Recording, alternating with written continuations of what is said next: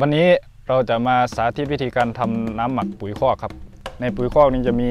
ธาตุไนโตรเจนสูง เราต้องการสารอาหารหรือว่าธาตุอาหารที่มีอยู่ในปุ๋ยคอกมาอยู่ใน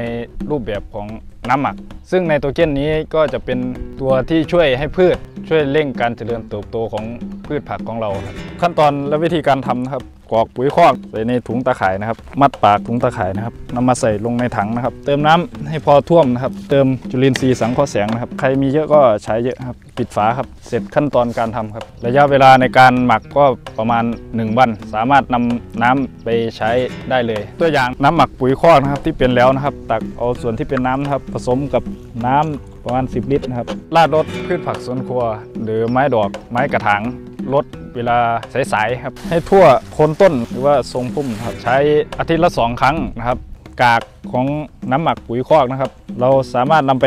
ใส่โคนต้นไม้ หรือทำเป็นปุ๋ยผสมกับดินปลูกได้เลย พืชก็สามารถดูดซึมธาตุอาหาร แล้วนำไปใช้งานได้เลยนะครับ การทำน้ำหมักปุ๋ยคอก ทดลองแล้วใช้งานแล้วรับรองได้ผลดีครับ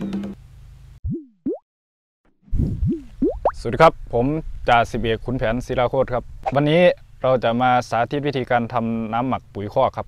ครับสำหรับน้ำหมักปุ๋ยคอกนะครับ เราต้องการสารอาหาร หรือว่าธาตุอาหารที่มีอยู่ในปุ๋ยคอกนะครับ ให้มาอยู่ในรูปแบบของน้ำหมัก โดยในปุ๋ยคอกนี้จะมีธาตุไนโตรเจนสูง เราก็จะนำธาตุไนโตรเจนที่อยู่ในปุ๋ยคอกนะครับ มาทำการผสมน้ำราดรดกับพืชผักของเราครับ ซึ่งไนโตรเจนนี้ก็จะเป็น ตัวที่ช่วยให้พืชนะครับ มีการเจริญเติบโตได้ดีนะครับ ช่วยเร่งการเจริญเติบโตของพืชผักของเราครับสำหรับอุปกรณ์นะครับก็มีปุ๋ยคอกแนะนำให้เป็นแบบแบบแห้งนะครับ จุลินทรีย์สังเคราะห์แสงนะครับ ถ้าใครมีก็ใส่หรือว่าใครไม่มีก็ไม่ใส่ก็ได้ครับสำหรับจุลินทรีย์สังเคราะห์แสงนะครับ ที่เรานำมาใส่ก็เพื่อช่วยดึงไนโตรเจนที่อยู่ใน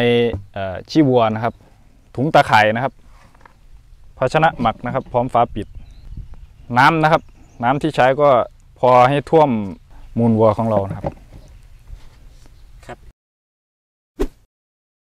ขั้นตอนและวิธีการทำนะครับ เราทำการกรอกปุ๋ยคอกนะครับ ใส่ในถุงตะข่ายนะครับ สาเหตุที่เราเอ่อใส่ถุงตะข่ายนะครับ ก็เป็นการกรองเอาเฉพาะน้ำนะครับ จากนั้นก็ทำการมัดปากถุงตะข่ายนะครับ เสร็จแล้ว นำมาใส่ลงในถังนะครับ จากนั้นก็เติมน้ำนะครับ เติมน้ำให้พอท่วมนะครับ เสร็จแล้วก็เติมจุลินทรีย์สังเคราะห์แสงนะครับใครมีเยอะก็ใช้เยอะครับทำการปิดฝาครับ เสร็จขั้นตอนการทำครับนำไปตั้งไว้ในที่ร่ม ระยะเวลาในการหมักก็ประมาณ 1 วัน สามารถนำน้ำไปใช้ได้เลย หรือว่าเราจะหมักไว้นาน แค่ไหนก็ได้ครับ จนกว่าที่จะหมดเเราสามารถเก็บไว้ใช้งานได้นานครับ หรือว่าจนกว่าที่เราจะใช้น้ำหมด การทำน้ำหมักตัวนี้นะครับ แนะนำให้เป็นขี้วัวขี้ควายแล้วก็ขี้หมู เนื่องจากมูลสัตว์ประเภทนี้นะครับ ก็จะมีไนโตรเจนอ่าค่อนข้างสูงนะครับ ครับนี่คือตัวอย่างนะครับ น้ำหมักปุ๋ยคอกนะครับที่เป็นแล้วนะครับ เราก็จะนำมาใช้งานโดยการตัก เอาส่วนที่เป็นน้ำนะครับ ประมาณนี้นะครับ ผสมกับน้ำในบัวรดน้ำประมาณ 10 ลิตรนะครับ คนให้เข้ากันนะครับทำการลดให้ทั่วโคนต้นนะครับ หรือว่าทรงพุ่มนะครับ ใช้อาทิตย์ละสองครั้งนะครับลดเวลาสายๆครับ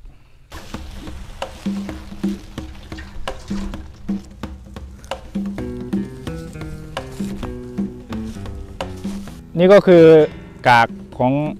น้ำหมักปุ๋ยคอกนะครับ เราสามารถนำไปใส่โคนต้นไม้ หรือทำเป็นปุ๋ยผสมกับดินปลูกได้เลยครับ